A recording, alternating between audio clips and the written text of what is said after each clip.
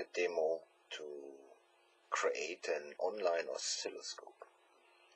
First I restart my PIC32 with the MIF.N module. It creates an uh, soft access points. I connect to it. It's um, encrypted, but the Windows already knows the password. So we see here client is connected. To see the behavior of the whole stuff here, I use this diagram.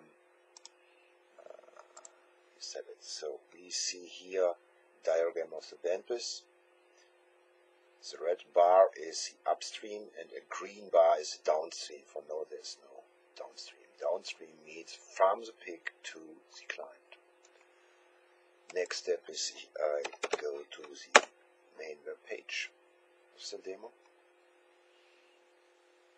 And this is what we uh, already know. We see data's coming in. And I've added some new uh, sub pages. Um, because this is all the time polling, I stop this. I, for this I use the network configuration. And now it stops polling and the bandwidth is going down. From here I open the real-time data stream. Now a JavaScript library is pulled out of the memory of the PIC32, loaded into the browser and creates now the image. For every 4 bytes 4 values that are sent or pulled off the uh, memory from the PIC32. Uh, this is done every 100 milliseconds. So we see an average downstream of somewhere here around up to 64 kilobits.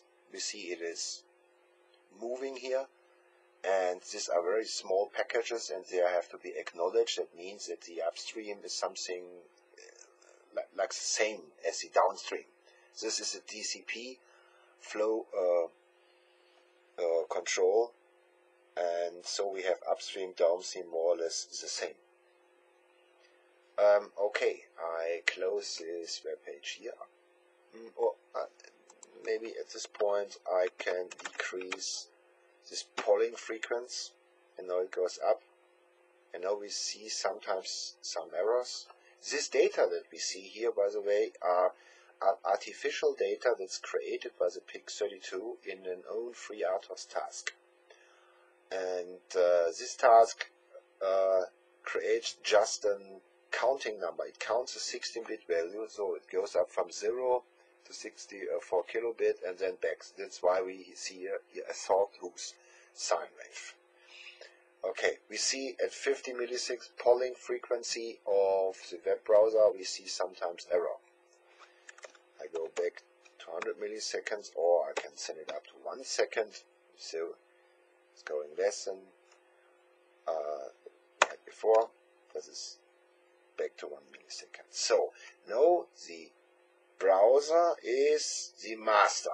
He pulls with this frequency every 100 millisecond data out of the memory. Okay. For this, he opens the sockets, exchange the data, and close the sockets. This is a lot of stuff to be done. A WebSocket is, compared to this, more nice in the behavior. Now also the JavaScript library which is needed is loaded out of the memory. And WebSocket means I connect here. It opens from the browser a socket and it stays open. I can send an hello and there's just an echo of this and the hello is sent back. From here I can send disconnect. The interesting thing is that I can start here now with a command that I've defined, start stream, sending data from the PIC asynchronously to the browser. And then we have also a stop stream. I stop it, make here disconnect, and the format is the same as we had before. It's ASCII values, and every 10 milliseconds, four values are sent in the form of ASCII. Mm-hmm. If I go down, I said here stop stream, which was sent it, and then this is one is echoed back, and the whole thing is then closed. Okay. From here, I go, I combine now the graphic with the WebSocket. So that means I go now to real-time WebSocket stream. Java library is pulled out of the memory. It there, and I connect. And what we see here now is that the browser is synchronously following the PIC32. What we also recognize is that the bandwidth is lower. WebSockets are much more effective in sending data in one direction continuously. I have uh, created also some commands here, set delay. That means there is an own FreeRTOS task which is set to 10 milliseconds. Every 10 milliseconds, four values are generated and sent to the client. I set it now with the command. You see it's recognized. Task delay is now 100 milliseconds and we see it. What you also recognize is there there are no errors here in between.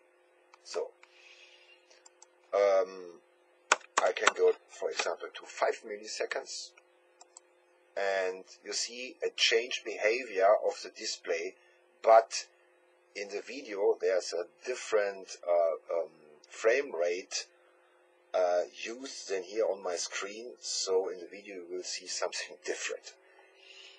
Okay, I disconnect from here and uh, go back to the uh, client here. I connect again. Uh, down below you see in this log it's opened again and one command that I've also added is the reset command. It is recognized and it resets the PIC32. The access point is started and the Windows is polling it and my client is connected again. I press the reload to refresh the web page. You see JavaScript uh, library is loaded out of the memory. And here we are again. Okay.